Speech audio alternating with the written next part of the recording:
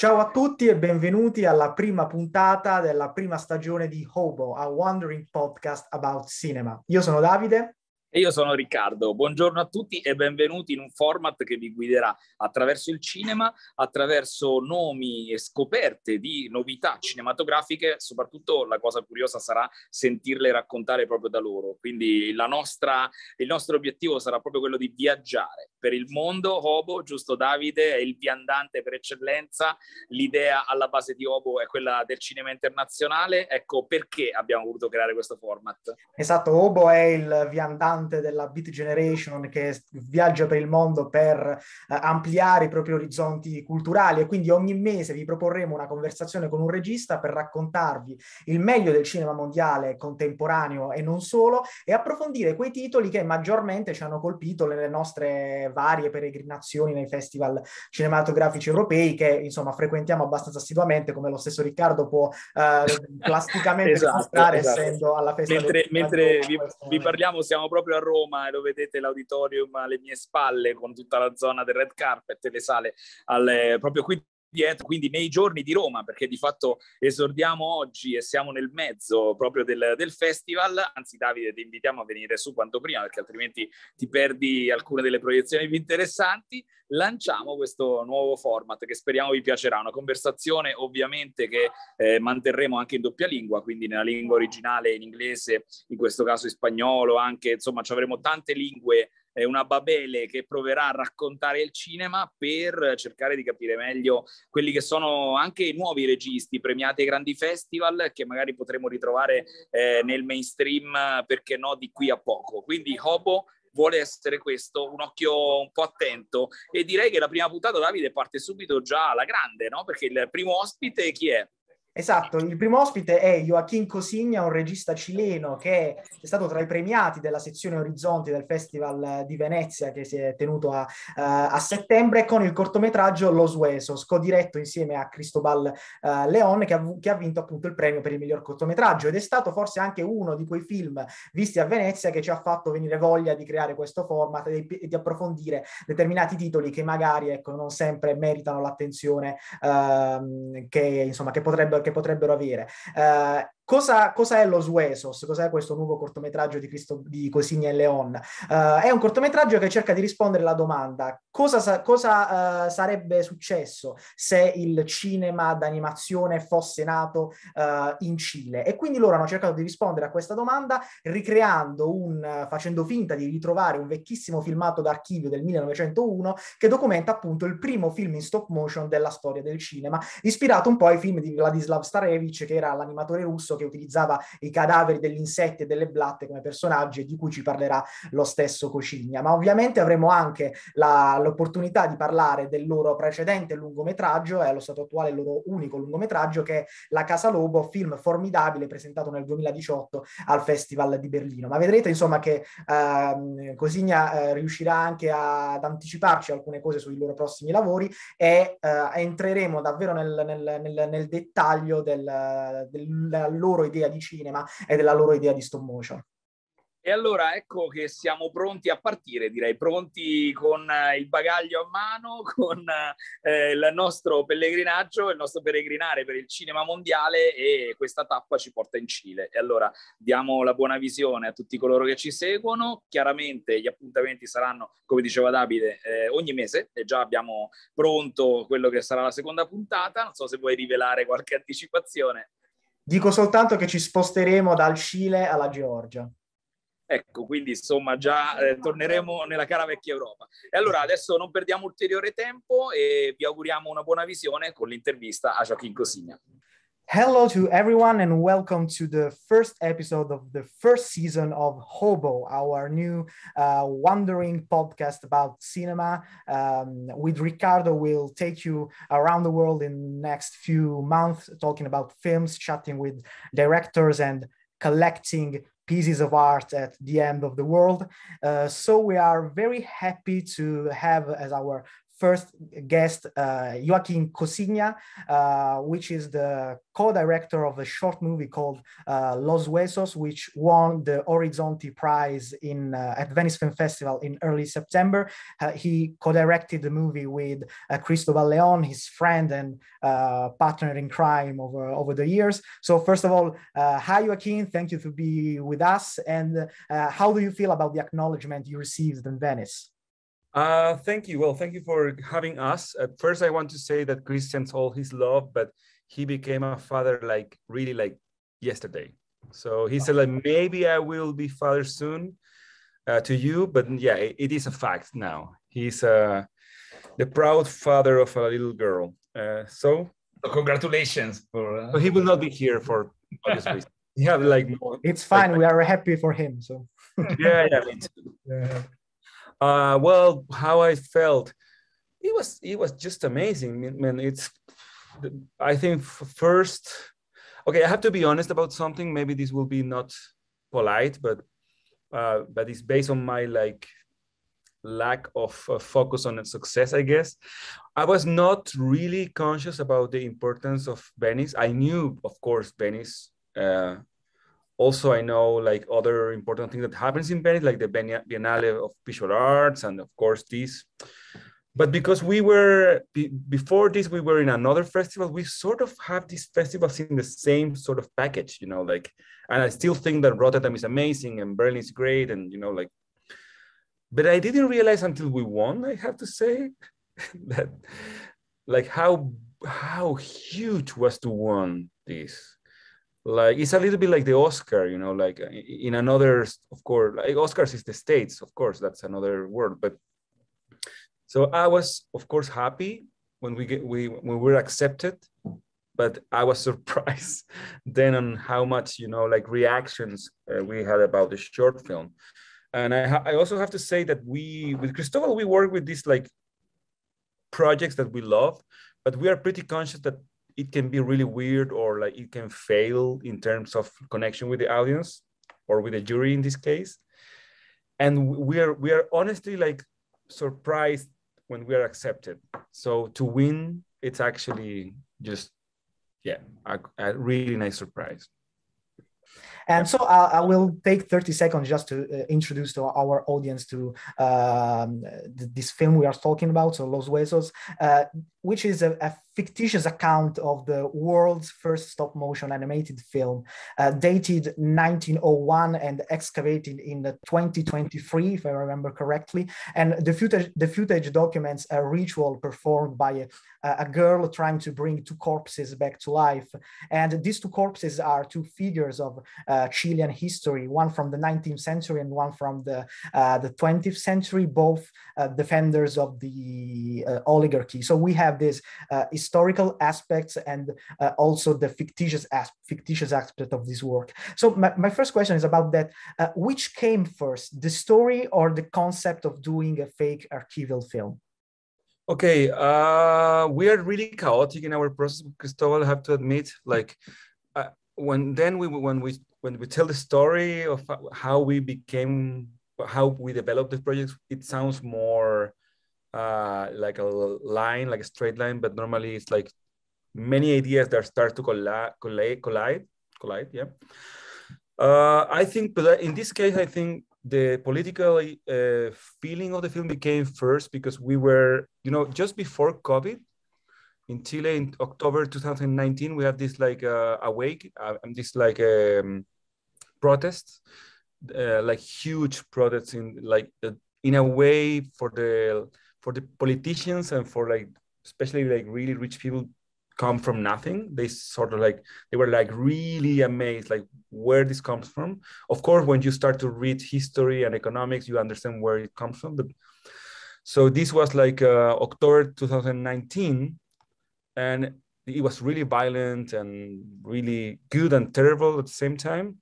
Mm-hmm. uh, so we started to think with cristobal to do something in that aim so to do something about that changing process because it was really intense like from october to uh, january it was like it felt like a year you know like i was actually you know like a little bit injured just because of a little bit. Okay, I will not be. I was not really injured, but just by, because I was in the manifestation, just standing there. You know, like the police was really shooting to people, like uh, not with real uh, guns, but with these like metallic plastic things that were like you know like.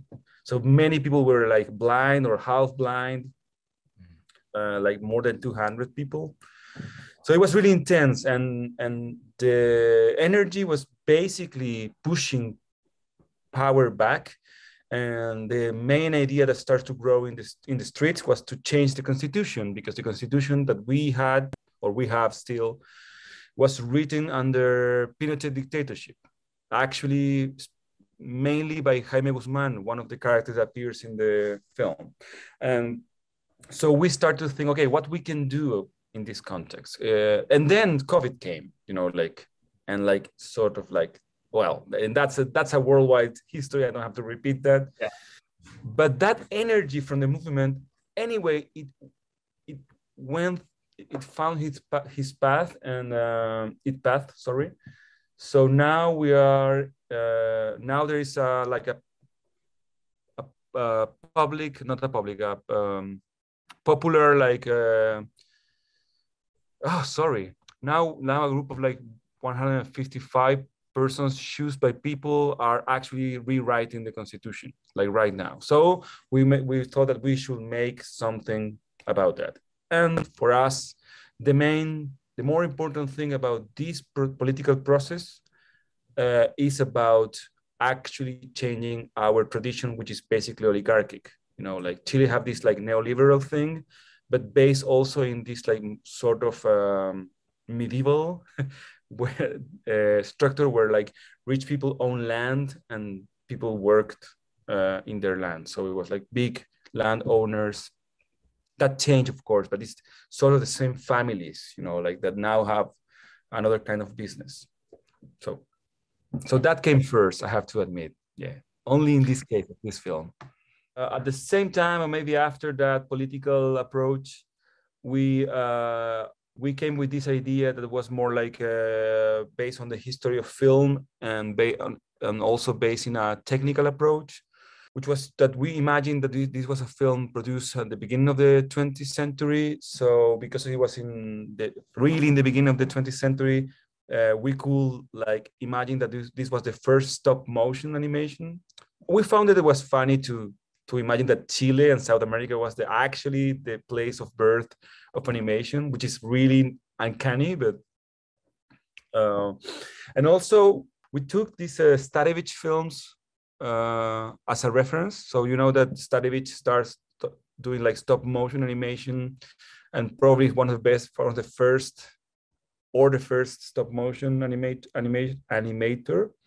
And the first project that he made, or he, what he said is that he was working in this like um, history, National History Museum, and he tried to shoot some bags and the bags because of the lights were like dying or yeah. like hiding so he used corpses you know or dead bags with like wires instead of uh, um, the moving parts sorry so we thought okay we can make that the same thing but in a more like over the top or like a little bit like uh, exaggerated way so we said okay we will use like body corpses, but, but like human body corpses, corpses.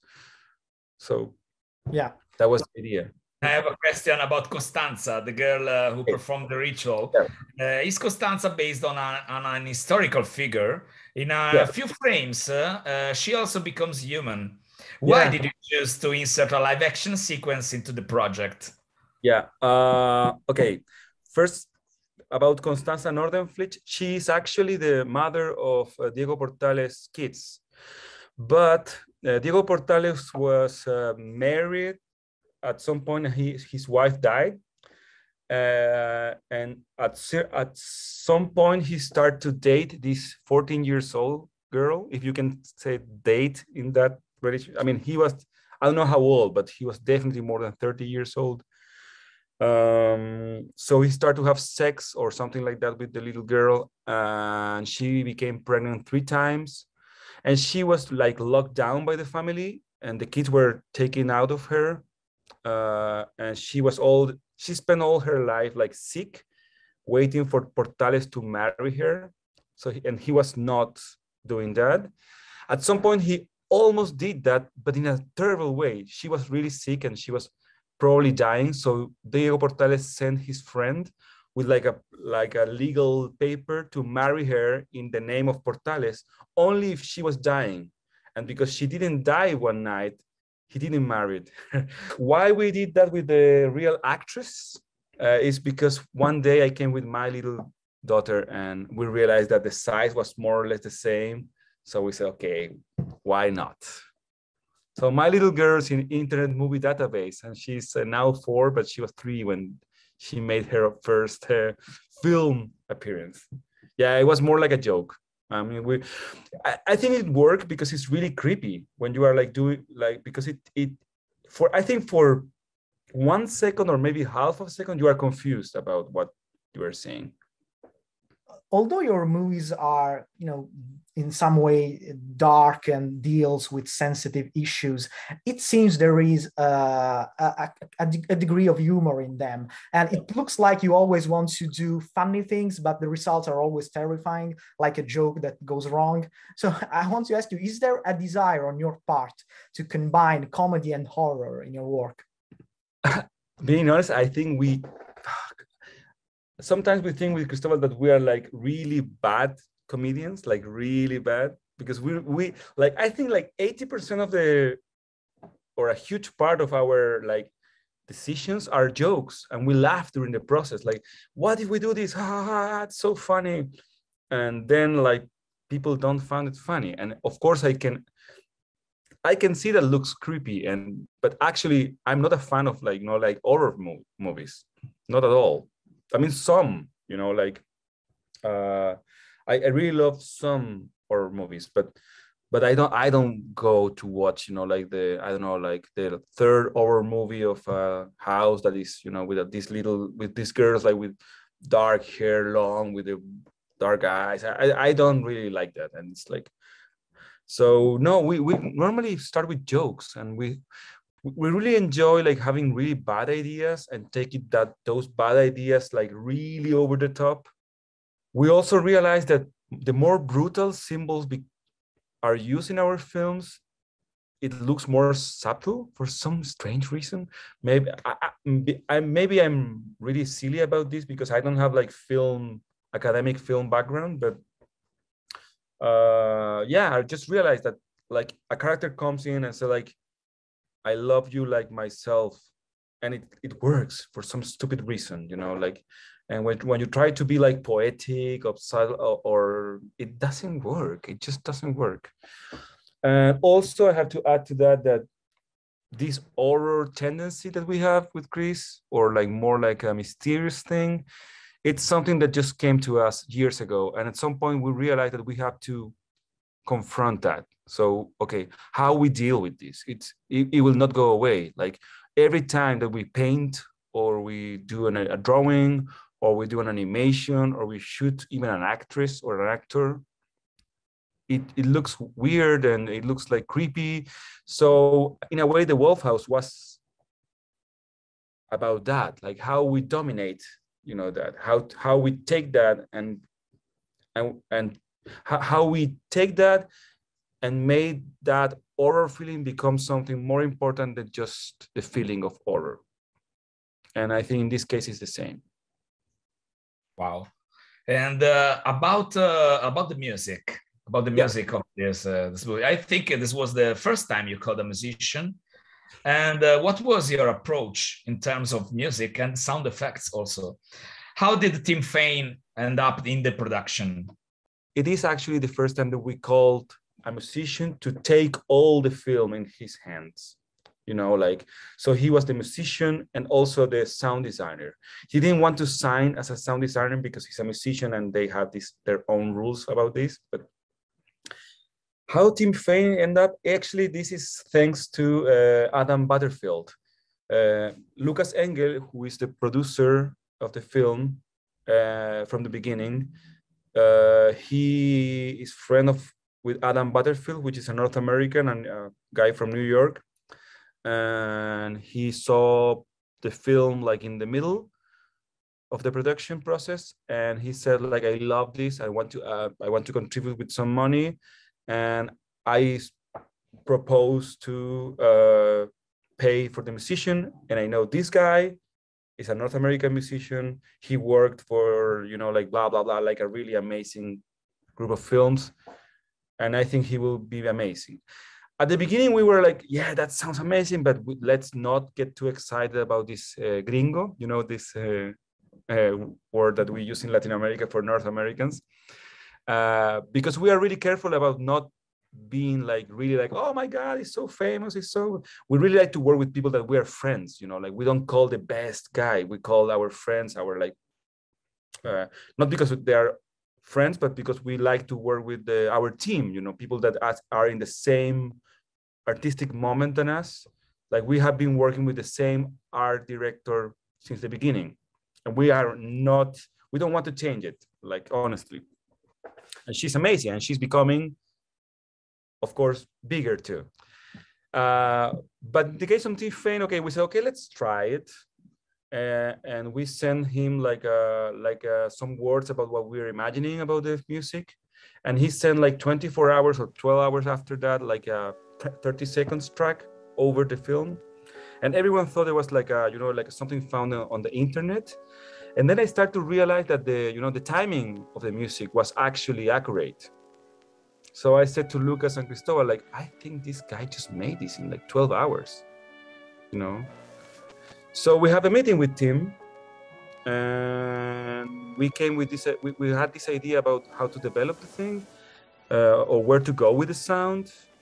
And we asked him first like where do you think that this can like evolve? And he said basically what we were thinking. So it was okay guy you are in. I mean it's that's it. And he was yeah he was really happy to i have to say because i my theory is that we give him a lot of freedom. So we he was like that we, we we thought okay this is this should be like chopin but from hell.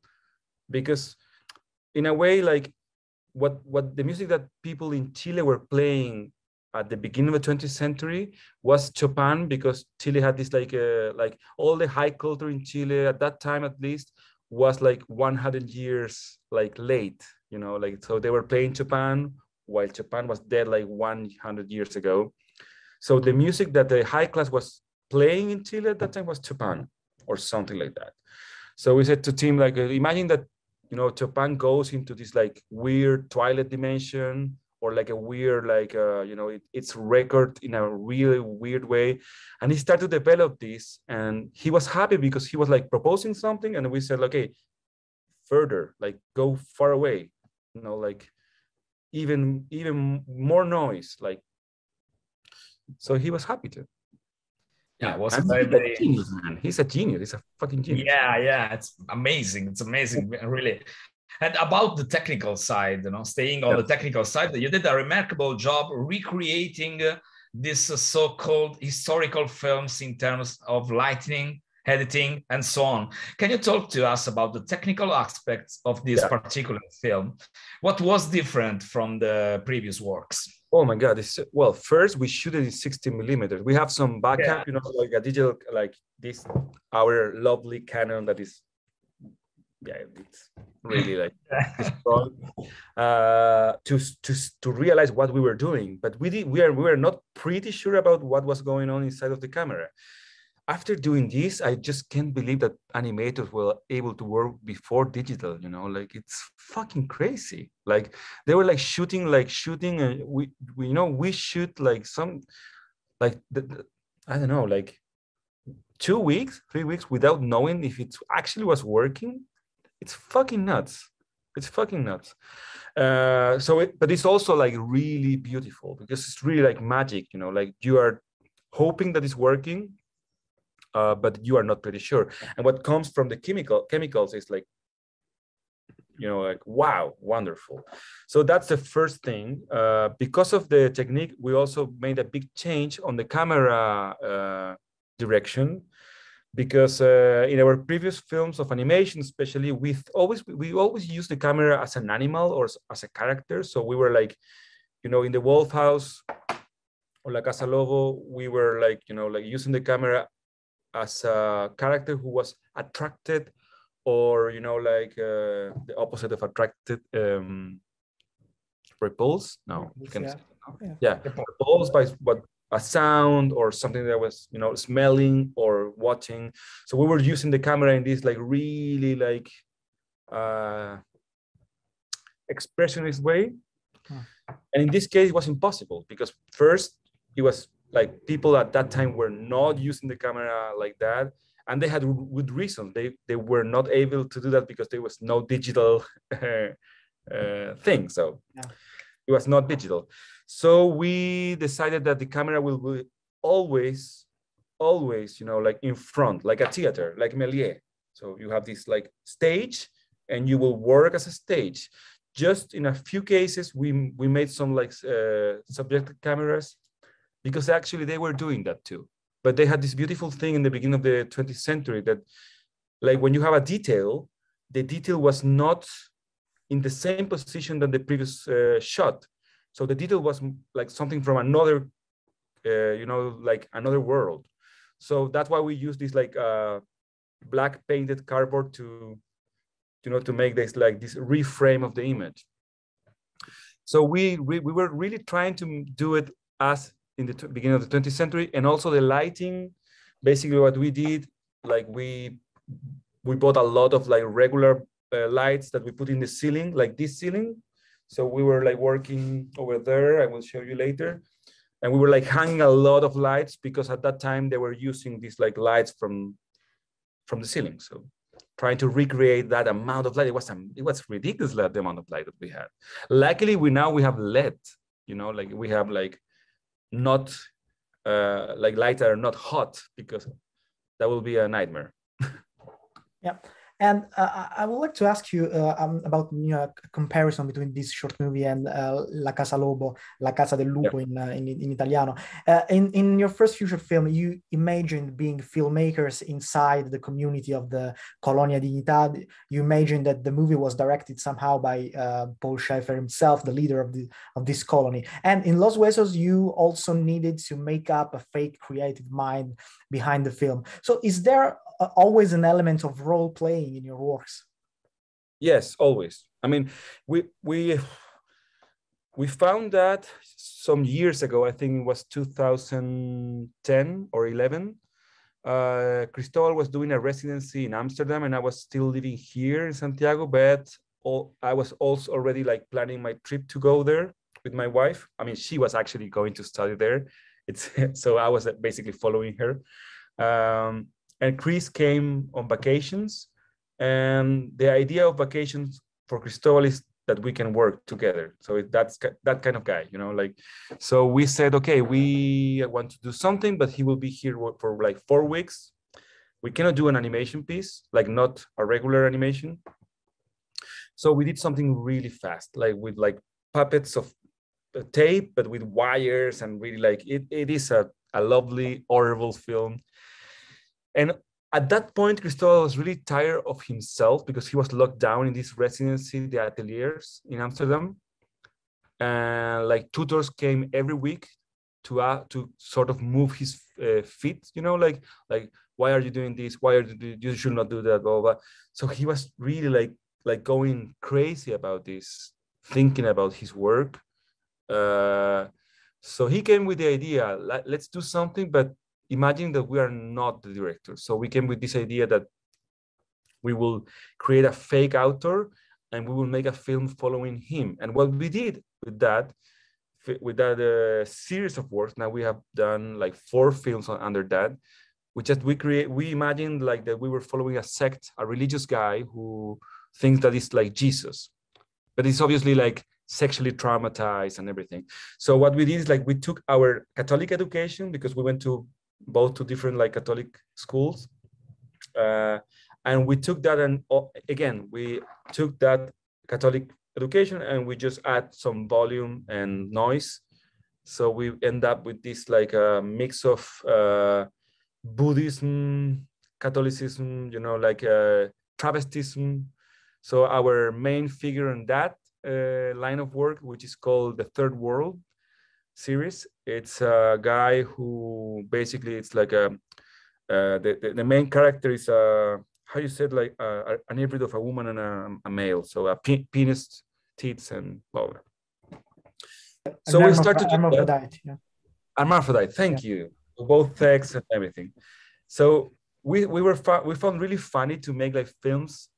Imagine that we were like this really over exaggerated Catholic uh, guy who is so ashamed of body that he basically shows bodies all the time and like homosexual sex and and blah blah blah. So we started to do that and we, re- we were really happy you know like we did this like film which is called el templo which is performed by a by, by a woman dressing as a hermaphrodite. And it was so machist that some couple a couple of uh, friends from there not friends but artists they thought there was a a video made by a female feminist artist, and then she thought she saw our names on it, and she said, "Oh, a couple of gays," and then she realized that actually I was married. So she said, like, but you are married because of some political issues in your country, you know? Like imagine, I don't know, that I was like forced to be married or something. But she couldn't believe that we were like hetero guys, like doing that film. For us was a huge success because and then we realized, okay, this is have a lot of potential, you know, like we go into these like horrible places and we are allowed to be free under the skin of another person because uh, I'm, I'm answering really long, sorry, but basically it's, I, re- I found really boring to do something that is like left wing, liberal, blah, blah, what, what I'm in a way I am, you know, but it, it is so boring. It's just so, like yeah you go to a museum you see a work which is of course against nazism and you think yeah well of course i i, I cannot agree more. And you go out of the museum or the theater and you are not changed in any aspect. But if you if you imagine that you are the nazi and you are you know like uh, you know the really evil person and you try to do something creative out of that i think it's more beautiful in mm. a of course a strange way. Yeah Yes, yes, it is. Yes, definitely. And uh, about the about La Casa Lobo, uh, yeah. was the culmination of a long experimentation made in the field of stop motion. Do you think Los Huesos is still related to that movie, or uh, is it something that is taking you to new territory? Uh, well, of course, when artists think that they're found, founding new things, normally it it sounds silly because normally it looks pretty similar. I know. Uh, but for us, it's quite different. I mean, the Wolf House is like a it's the culmination of a process definitely. We don't want to do that anymore. Of course some some days we are like oh it would be lovely to paint you know like a full house. But then we will be i mean if you ask me now if i will do a, the wolf house 2 or something like that i prefer to put play again to the film that we already did in five years and i will not do it that again but in a way, the Los Huesos is a new. Los Huesos is, is more linked, I think, to our next project, which is called Los Angeles. Um, by now, it's called like that, uh, which is a feature film that that we. So it, uh, it's a it's a film about about the origins of different techniques in a way. So it will be. I mean, I'm I'm saying something that probably will change next week, but uh, it's a film that I think it will it will mix like five different like uh, aesthetic approaches. So it will, it's a film that will be lost in different uh, aesthetic approaches that wants to talk or dialogue with like different key moments in the history of cinema. This sounds so pretentious, it's terrible, but so we are trying to reimagine, you know, traditions because we found. I mean, when you think about like beginning of 19th century, you have Méliès and you know this. Uh, I always forgot the name of the more documentary guys. Uh, come on, the train. Oh, the Lumiere, the yeah, yeah, yeah, the Lumiere brothers. You have like this magic-based tricks, effects, you know, like dreamy thing, and then you have this documentary thing, and then you have another filmmakers. And every time that someone was shooting something at that moment, they were like doing experiments. Like everyone, everyone was ex- experimenting. When you take, I don't know, like the first Walt Disney, he was like a fucking lunatic doing experiments, you know, like creating things or taking or stealing things. But okay, that sort of stealing things that were created like two two years before or like we were like i don't know like for example we were like like trying to find which was the first 3d and we, we just found this like it's not a, a deep research you have to just google it like the first 3d was made in the year 74 i think in utah university and it's so beautiful so we are trying to dig uh, as deeper as we can in the origins of different like techniques linked to animation, but also to um, like uh, special effects. So in a way, Los Huesos is linked to that, to that that like sort of a research, if you can say use that word, um, about the origins of different like technical approaches in cinema. All right, so I think we can end this lovely conversation with a quick tour of your uh, of your of your studio. Oh yeah, of course. So, well, my studio now is. I can show you something. Maybe this will be sad because you will see the real uh, puppets. But this is um, okay. This is um, Jaime Guzman. Oh yeah. Uh, one thing that I didn't tell you. This is this is a copy of my head. Oh, uh, all right. So, oh, okay. And and Diego Portales is a copy of the head of Cristobal. Yeah, yeah. And the right, I mean, the left, this is my hand mm. and my arm. And yeah, well, this is also because he have like two left side. But so what we did is like we we made a copy of my head, like Cristobal heads, my left arm and legs, and leg, sorry, and Cristobal right side, and the torso is from the producer. So that torso is from Lucas. So in a way, we found it funny that we were in body and soul in the film, and also we didn't have to pay to anyone to to to do that. So we are also like painting uh, a lot of like big paintings. There are basically. Uh, like different versions of the poster of the, our next film. So we found like really funny again to do the poster before the script. So it at the beginning was a film about Miguel Serrano, who is a esoterical Nazi from Chile. He died. It's a funny thing. Uh, we can we can talk that another day. So we are working in different versions of that. Um, so we have another one that really went far away. so, so the thing is like we were painting this, working on this before the lockdown, and then the painting were like locked down in our previous studio for one year and a half. And we took it here and we start to like add and add and add and then it's now it's like absurdly dense you know so this one it's called antarctica this is just I, I started this yesterday, which is not really good. We are also like like trying some things like animation, but like well, I, that doesn't really matter. So, and this other painting and other painting, and we were also doing some tests for a film. This is a corpse that we were uh, trying for a North American production. They say, they say no because it was really funny you know that we we did this like one hour and they did they said they cannot actually accept this design because if they need if they if they accept this they have to do it there and that will cost them like one thousand dollars per day of a, of a dead body designer. And it was okay anyway. Really? Yeah it was north america you know like and this is us like these these are the like the first uh, so cristobal is here. Now he can join. Oh yeah. So this is well we have more also like another areas of the studio but it's now organized. Normally it's more chaotic you know? I can't even imagine how how be more oh yeah these are the yeah these are the these are the boxes for the bodies.